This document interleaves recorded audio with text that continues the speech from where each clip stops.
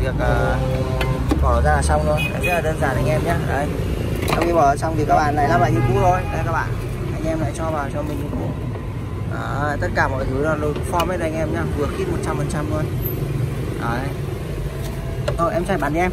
Cho em cho ốc vào bắn đi. Từ từ em ạ em bị đánh phải đánh lồng này vào.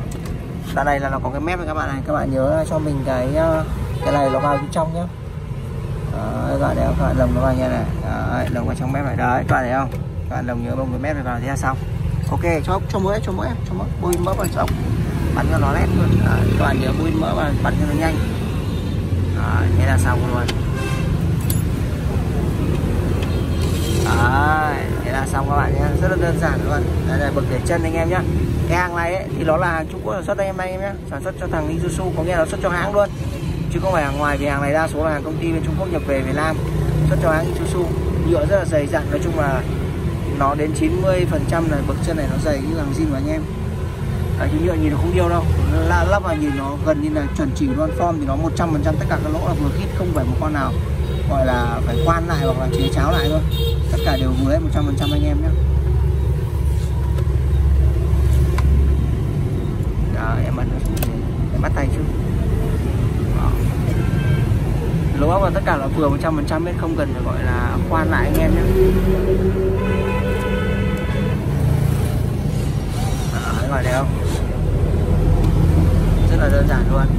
Xong anh em nhé ờ, sau khi làm xong thì các bạn nhớ cầm hai bông này các bạn xoáy lại cho chắc súng kia nó hơi yếu vào đây bạn vào đây ngon cầm bông này xoáy lại cho bạn chắc là xong các bạn nhá con này là xe Isuzu PKR đầu vuông. Đầu vuông thì là 210 là 230 270 đều trùng hết form anh em nhé không có gì là khác cả tất cả đều trùng form hết luôn. À, anh em lấy thì anh em nhớ ủng hộ mình nhá. Số điện thoại là 0978 23083 và 0978 2008 anh em ơi hiện tại thì mình vẫn đang làm việc 98A hết tháng có hồn này là mình sẽ tháo hủy toàn bộ 98A này không làm việc nữa và chuyển sang số nhà 110 anh em nhé anh em lưu ý giúp mình anh em chia sẻ thông tin cho mình nha là hết tháng cô hồn là mình sẽ phá hủy toàn bộ 983 này không làm ở đây nữa. Chuyển sang số nhà 110 cách nhà mình là 4 nhà. Cảm ơn mọi người rất là nhiều luôn. Thank you em trai nhá.